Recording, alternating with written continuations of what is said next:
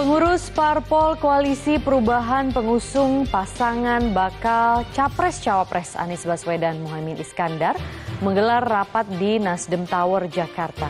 Pertemuan membahas strategi dan tim pemenangan pasangan Amin.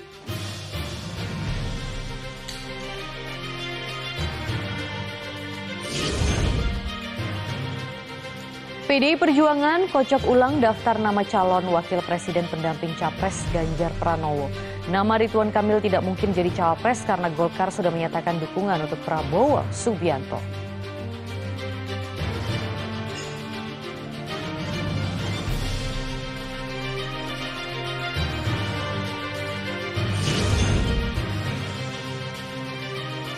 Presiden Joko Widodo hari ini membuka Munas Nahdlatul Ulama di Jakarta.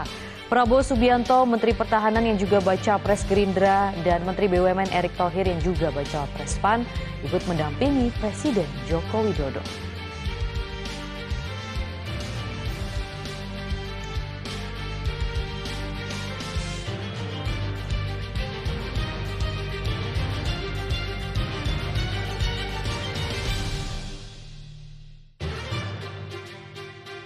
Halo, selamat sore pemirsa. Anda menyaksikan berita pemilu. Senang sekali saya Maria Lizia Hasni yang akan menemani Anda selama 30 menit dengan menyajikan beragam informasi terkini seputar pemilu. Langsung saja kita mulai. Inilah berita pemilu selengkapnya.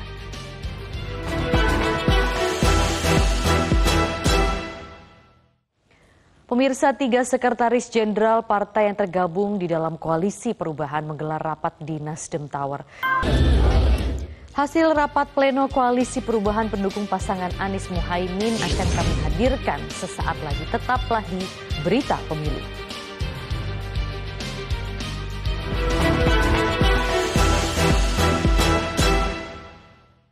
Terinspirasi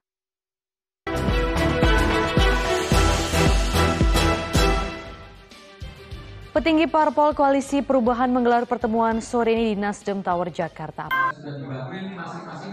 Itulah informasi terakhir di berita pemilu kali ini pemirsa. Jangan lewatkan berita pemilu setengah empat setiap harinya di Metro TV. Saya Maria Lizi Hasni undur diri. Sesaat lagi Anda dapat menyaksikan Metro hari ini bersama Vera Bahaswan. Sampai jumpa.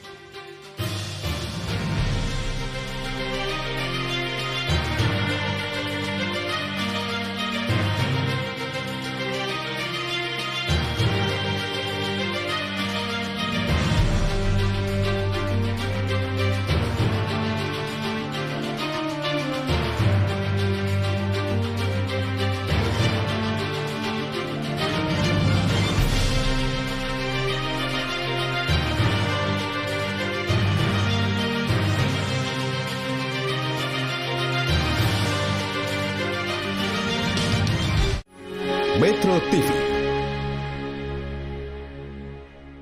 Mari bicara tentang tahapan pemilu 2024.